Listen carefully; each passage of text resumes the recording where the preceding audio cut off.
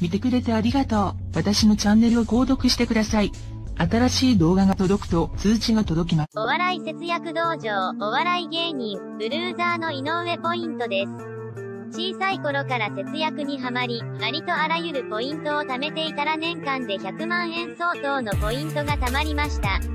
家には定価で買ったものはありません。常にお得を求めて生活をしており、ゲーム感覚でポイントを貯めています。なぜレシートがお金に変わるのか。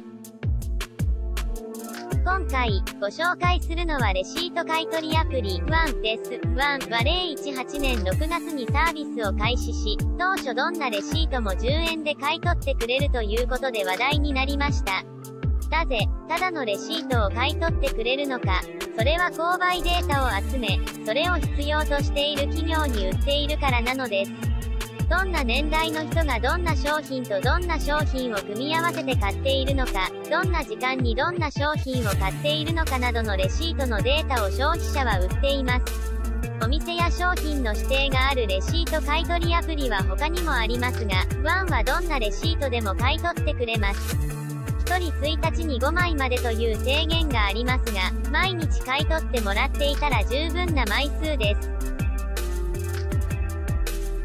宝くじ感覚で高額買取を待ち続ける。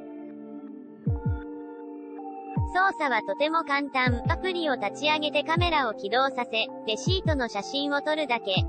何種類かのレシート買取アプリを試しましたが、写真を撮ってから買取完了まで、ワンが一番早いと思います。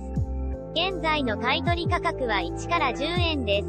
実際にはほとんど1円で、たまに10円などが出る感じ。高価買取になる条件などはなく、ランダムで1円以外が出るようです。僕の場合、買取価格が10円になるのはだいたい1週間に1回くらいの割合です。毎日レシートを買い取ってもらっており、たまに10円などになるので、宝くじ感覚で楽しんでいます。購入代金100%が必ず還元のチャンスも、他にも、ワンでは様々なお得なキャンペーンが開催されています。例えば、指定の商品を購入すると購入代金の100%が必ず還元されるというものです。よくドリンクが指定の商品でキャンペーンが行われており、100%が還元されるときは毎回のように参加しています。これまでに選挙に行って、投票済証明書をもらって送ると100円がもらえるというキャンペーンがあったりもしました。